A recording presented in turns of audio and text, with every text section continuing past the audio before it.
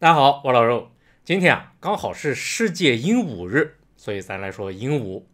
那么鹦鹉在所有鸟类当中啊，可以说是最聪明的鸟之一。它们的智力差不多跟乌鸦一个水平，在整个动物界也是最聪明的动物之一。而且跟乌鸦相比呢，鹦鹉还多了一个技能，就是会学人说话。这个乌鸦来不了，所以给人感觉好像鹦鹉啊，比乌鸦还要更机灵一些。那么会说话的鸟啊，咱前一阵刚说过一种，就是八哥，然后顺便还提到了鹩哥，也叫九官鸟，它俩跟鹦鹉一样，都是因为会说话成了常见的宠物鸟。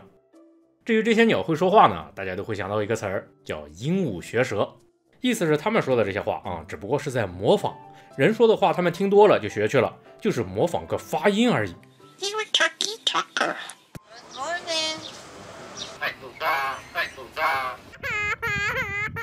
说的什么意思？他们肯定不知道，是吧？哎，那么这一点呢？你说八哥啊、辽哥他们，甚至说绝大多数鹦鹉是这样，那确实没问题。不过还真就有那么一种鹦鹉啊，明显有点与众不同，就是非洲灰鹦鹉。就灰鹦鹉说话的那个语调，还有发音的清晰度，其实已经跟人非常接近了，有点能以假乱真的意思。而且来说。说灰鹦鹉，它们很有可能已经不是在简单的模仿了。有很多研究发现，它们好像真能理解单词甚至句子的意思，已经能和人对话了。甚至有时候啊，这些家伙竟然还透着那么点幽默感，简直都会让你恍惚是不是有人在幕后跟他演双簧那种感觉，特别不可思议。所以这些家伙为什么这么厉害呢？今天这期啊，咱就来好好认识一下非洲灰鹦鹉。说有那么一只灰鹦鹉啊，经常被认为是世界上最聪明的鸟，它的名字叫 Alex。为什么说它最聪明呢？是因为它好像能理解自己说的话什么意思，不是模仿一个发音那么简单。比如研究人员给他看两把钥匙，问他有什么不同啊？他回答颜色。What's different? Color. 然后再问什么相同呢？他回答形状。Can you tell me what's same? Shape. 然后再问哪种颜色更大呢？他回答黄色。也就是说啊，Alex 不但能分辨颜色和形状，还能理解什么是大，什么是小，什么是相同，什么是不同这些概念。他只有知道这些词儿什么意思，才能这么跟人对话。然后另外还有个例子啊，也很说明问题。说 Alex 啊曾经单独学过 “yummy” 好吃这个词儿，也单独学过 “bread” 是面包的意思。后来他第一次见到了生日蛋糕。尝过之后，竟然说了一句 “yummy bread”，他自己把这俩词儿给组合起来了，就很离谱。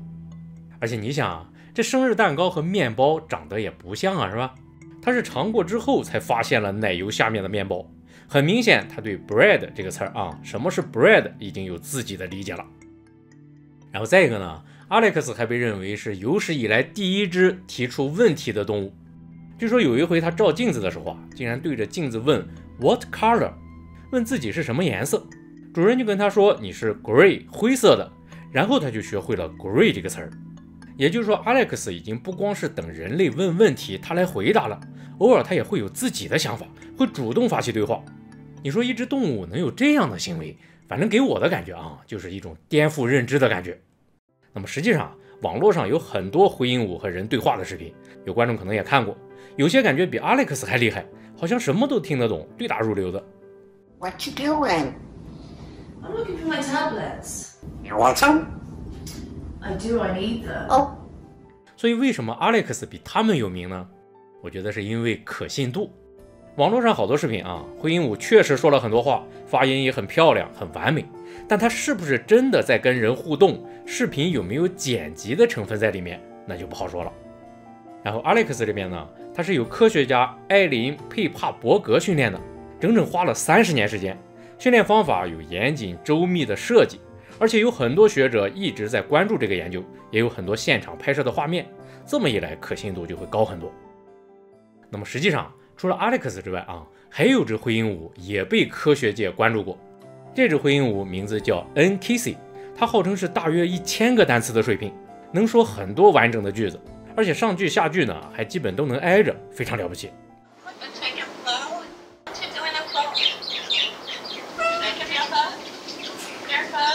那么 N K C 最有名的事迹啊，是跟生物学家珍古道尔博士，世界上最著名的黑猩猩专家。说 N. K. C. 平常训练的时候啊，曾经看过古道尔博士跟黑猩猩的合照，也学会了 chimp 黑猩猩这个词儿。后来古道尔博士来拜访他，他竟然认出博士来了，而且还问了一句 Got a chimp？你带黑猩猩了吗？这话就显得很幽默啊，是吧？所以古道尔博士也很服他，说他是物种间交流的典范。这个评价那也是相当高了，至少他研究的黑猩猩啊，可到不了这个水平。所以非洲灰鹦鹉的语言天赋为什么这么厉害呢？哎，这事儿啊，得先从生活在野外的灰鹦鹉说起。说全世界现存的鹦鹉啊，一共大约四百多种，分在鸟纲鹰形目的四个科里面，分别是鹦鹉科、金刚鹦鹉科、凤头鹦鹉科和枭鹦鹉科。其中绝大多数鹦鹉呢，来自鹦鹉科和金刚鹦鹉科这两科。然后有些地方啊，把鹦鹉科叫旧世界鹦鹉科。金刚鹦鹉科叫新世界鹦鹉科，本意是按照它们原产地来划分，倒是也不错。不过新世界鹦鹉科这个叫法呢，容易引起误会，因为这科的鹦鹉啊，它并不是全都来自美洲。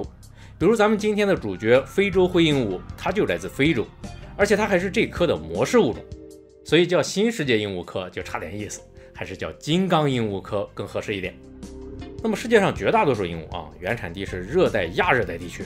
尤其是大洋洲和南美洲种类最多，主要是低纬度的森林啊、雨林这些地方，所以灰鹦鹉呢也不例外。它们的老家在非洲的中部和西部，刚好就是赤道穿过的那一片。然后说灰鹦鹉的长相啊也特别好认，因为大多数鹦鹉给人的印象都是五颜六色、花花绿绿的，是吧？一般身上都非常华丽，但是灰鹦鹉呢就比较低调，它全身上下基本就是一身银灰色，然后眼睛周围有一圈白色，一点都不张扬。不过识别度倒是很高。那么灰鹦鹉唯一特别鲜艳的就是尾巴，它们尾巴是红色的，而且还是鲜红鲜红那种，尤其飞起来的时候更显眼啊，跟挂了个警示灯似的，这也是它们的标志。然后说野外的灰鹦鹉啊，是典型的群居动物，不管是平常在树上，还是偶尔到地面上，经常都是乌泱乌泱一大群，据说一群数量最多能有一万只左右，看起来特别壮观。那么说灰鹦鹉的性格呢？它们不光是喜欢群居，而且还喜欢社交，跟周围的小伙伴互动啊、交流啊非常多、非常频繁。时下流行的话来说，就是社牛或者叫话痨。可以说它们个顶个都是社牛和话痨。比如动物学家曾经在刚果研究野生灰鹦鹉，发现这些家伙啊，站在树上闲聊的时候，竟然能发出两百多种不同的叫声，花样特别多。而且其中有九种明显是在模仿其他鸟类。还有一种是在模仿蝙蝠，当然说的什么意思不知道啊，但给人的感觉就好像在聊八卦，说别人闲话一样。比如话里提到蝙蝠了，就模仿了一下，像是这个意思。所以说啊，灰鹦鹉这些家伙呢，天生就是话痨的性格，与生俱来有一种想要交流的欲望。他们这种社交属性啊，可能就是他们后来学人说话的基础。不过话说回来，想说话是一回事儿，能发出人类那样的声音就是另一回事儿了。毕竟你想啊，就算是跟人类亲缘关系最近的黑猩猩，也没听说哪只黑猩猩会说半句人话，是吧？然后你再看灰鹦鹉呢，灰鹦鹉跟人类的共同祖先那都得是三亿年前了，结果倒是它们最能像人类一样说话，这怎么回事呢？咱接着往下说。所以为什么鹦鹉说人话说的这么像呢？主要因为具备三个特征。首先一个特征啊，跟之前说的八哥一样，因为它们对鸣管的控制啊，可以做到非常精细，有大量的肌肉和神经是用来控制鸣管的，这是它们能发出各种声音的基础。然后再一个呢，你像咱们人类来说的话，也不是光有声带就能说话是吧？还得有舌头和嘴的配合，你才能说话。那么这方面啊，鹦鹉和八哥相比就有优势了，因为鹦鹉的饮食啊，包含大量的坚果和种子。它们的嘴为什么那么粗壮，还弯得像个钩子呢？就是为了破碎坚果用的，相当于个核桃夹子。然后夹子发力的时候呢，它还得用舌头帮忙，使劲顶住坚果，把它固定住。外壳压碎之后，再用舌头舔出来，就跟咱们嗑瓜子儿一样。其实鹦鹉也会嗑瓜子儿，所以它们的舌头呢，就变得既厚实又圆润，还非常灵活，有点像人类的舌头一样。说话的时候啊，发音就会更准确、更清晰，这是他们的优势。好了，有了精确控制的鸣管，还有灵活无比的舌头，这样就能学人说话了吗？其实还不够。你比如说猿类，二零一六年曾经有项研究说，其实猿类负责发声的器官跟咱们差不多，该有的结构它都有，甚至研究人员还模拟出了它们的声音，也就是说，它们具备说话的潜质。所以为什么说不出来呢？是大脑的问题。说猿类大脑啊，并没有类似人类的语言中枢，虽然有发声器官，但没有复杂的神经信号去控制它，所以就只能发出简单的声音。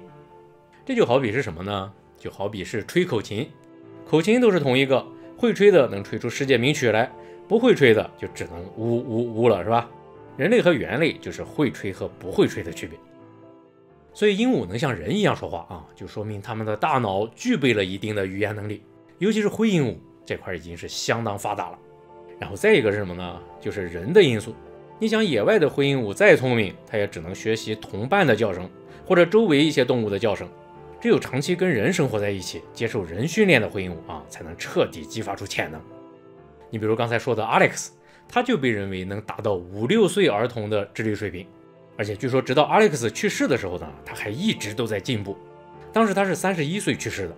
灰鹦鹉的平均寿命大约是四十五岁，也就是说，如果不是意外去世啊，也许阿历克斯还能学会很多东西。不过很可惜，已经看不到了。那么除了语言能力之外呢？说灰鹦鹉啊，还有个著名的实验，这次他们的表现啊，就连人类都要自愧不如了。说二零二零年的时候啊，来自德国马克思普朗克鸟类研究所的团队发表了一项研究，研究的对象就是八只非洲灰鹦鹉。科学家们想知道什么呢？他们想知道灰鹦鹉有没有利他行为，也就是说，他们会不会不计回报的帮助别人。那么整个测试过程啊，设计的非常严谨。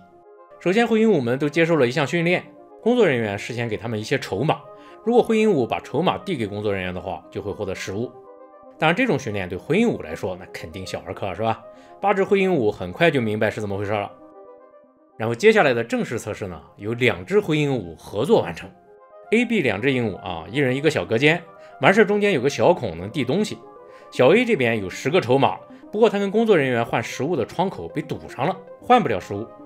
然后小 B 这边呢，倒是能换食物，但可惜他没有筹码，这怎么办呢？哎，这时候就是小 A 的高光时刻了，他竟然很快就看出了门道，自己留着筹码没用啊，是吧？还不如给小 B 让他吃点呢。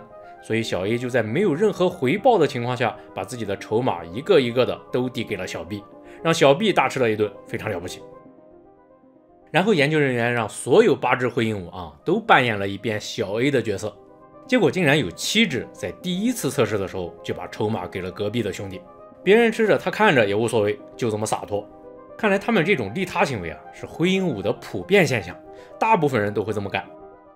不过研究人员呢还得排除另外一种可能性，就是小 A 会不会只是因为好玩才传递了筹码呢？所以就又设计了三个测试。第一个，两边换食物的窗口都堵上，谁都没得换。结果小 A 一看小 B 拿去也没用，还真就没给他。后来等小 B 那边窗口一打开，小 A 很快就给他了，就这么机灵。然后第二个，小 B 没在家，隔壁没人，小 A 当然也不会传递筹码。最后第三个，小 B 那边换不了。小 A 这边倒是能换，那结果很明显啊，小 A 自己就换吃的了，这就说明小 A 得是能看到小 B 能得到好处才会去帮他。所以通过这个实验呢，看来灰鹦鹉是真的有利他行为啊，是吧？这种行为在鸟类当中还是头一回发现，之前研究乌鸦也没这个，而且就算整个动物界啊，除了人类之外，也只有倭黑猩猩还有红毛猩猩有过类似的举动。所以说灰鹦鹉这一点还是很厉害的。那么在这儿啊，还有个问题。就是除了灰鹦鹉之外，其他鹦鹉怎么样呢？哎，研究人员也找了一位做了个对比，就是蓝头金刚鹦鹉，跟灰鹦鹉是同一科的。不过这位啊，就基本上没有给同伴传递筹码。所以这里面什么原因呢？科学家们也分析了，说他们俩的区别啊，可能在于群体规模不一样。蓝头金刚鹦鹉通常只有两到四只一起生活，社群很小，跟灰鹦鹉呢完全不是一个数量级的。所以说，灰鹦鹉的语言能力、智力水平还有利他行为啊，可能都是这种社会性的结果。也就是说，你社交越多的话，就越有利于大脑的发育。不过反过来呢，如果灰鹦鹉没有生活在野外的社群里，而是生活在笼子里的话，那情况可就不一样了。再接着往下说。那么，鹦鹉因为会学人说话啊，成了最受欢迎的宠物鸟。比如，二零二零年曾经有项统计。说世界上所有鹦鹉当中，其中大约有一半是被人类饲养的，差不多跟野生鹦鹉一样多。不过养鹦鹉当宠物有个什么问题呢？就是刚才提到的鹦鹉的社交需求，尤其像是灰鹦鹉这种有社牛属性的啊，你每天得有大量的时间跟它交流、跟它玩儿，它才会舒服。这就好比是你让一个社牛整天宅在家里，也没人跟它说话，家里也没什么好玩的，只有接外卖的时候跟人说声谢谢，你说它能好受吗？肯定受不了，是吧？那么灰鹦鹉呢，也是这个道理。你比如说 Alex，他作为科学家的训练对象，每天都有人跟他交流、跟他互动，有很充实的训练计划。所以他的认知水平啊，语言能力才变得这么强大。但如果是普通人养宠物呢，估计就没这么多时间了。灰鹦鹉很容易会感觉到孤独，这样可能会导致一种非常典型的症状，就是拔毛症。他们会自己把身上的羽毛拔掉，相当于是在自残一样。那么这种行为啊，野外的灰鹦鹉基本上没有，但是人工喂养的，据说百分之四十都出现过。其中一个很重要的原因就是它们的社交需求得不到满足。然后再一个，因为灰鹦鹉的宠物贸易呢，他们老家非洲那边的种群数量也很不乐观。其中最严重的是加纳，说加纳的灰鹦鹉也就二十多年时间啊，数量就减少了百分之九十以上，很多地方直接就局部灭绝了。另外，二零一七年还有个数据，说一九七五年以来啊，国际贸易当中，光是合法出口的有手续的灰鹦鹉就大约有一百三十万只，而且灰鹦鹉在捕获运输的时候呢，死亡率还非常非常高。大约能高达百分之六十，也就是说，被抓获的灰鹦鹉至少也得有两百多万只。这还只是合法的部分，非法贸易那块儿就更没说了。所以早在二零一六年啊，红色名录就把灰鹦鹉调成了濒危物种，需要加大保护力度。至于养来当宠物这事儿呢，就不建议大家养了。如果你真的喜欢灰鹦鹉的话，就把这期再看一遍吧。